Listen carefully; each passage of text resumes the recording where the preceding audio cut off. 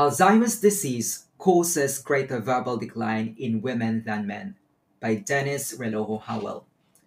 Alzheimer's disease is considered to be the most common neurodegenerative disease that is linked with aging.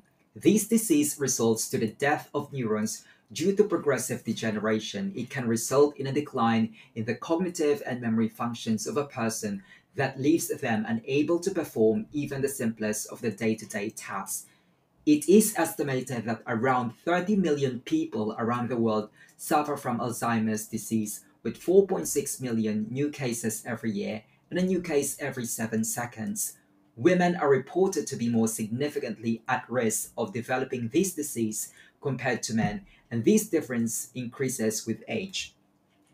Research also reveals that majority of people living with dementia have not received a formal diagnosis. In high income countries, it is estimated that only 20 to 50% of cases are documented.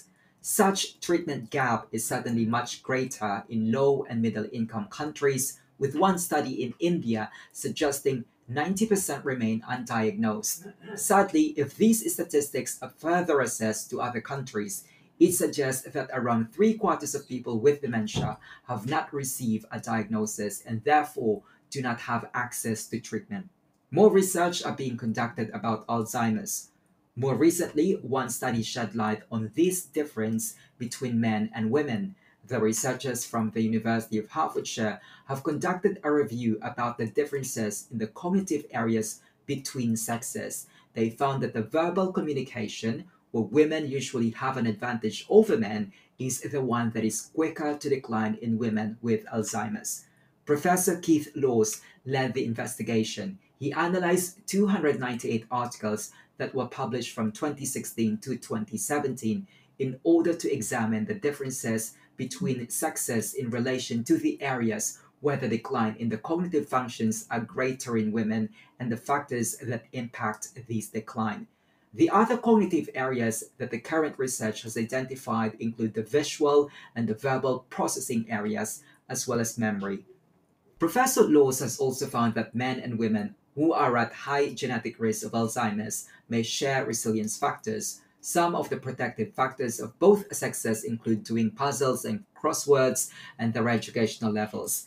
There are also sex specific factors that can implicate various care strategies when considering what can help manage cognitive decline. Resilience factors that are specific to women are being married, living with a partner, lower BMI, and alcohol use while men may benefit from seemingly random factors such as pet ownership, which might be because it can be linked to exercise. Professor Laws highlighted the small effects that can have important consequences on how men and women might need more sex specific approaches to their treatment and care. Even with this, there could still be various reasons as to why the cognitive functions of women may be more adversely affected by the disease.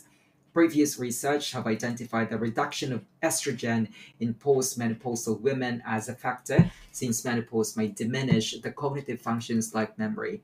Another aspect to consider is that men have more cognitive reserve since they have traditionally spent more hours in work that then enables them to better resist the impact of Alzheimer's.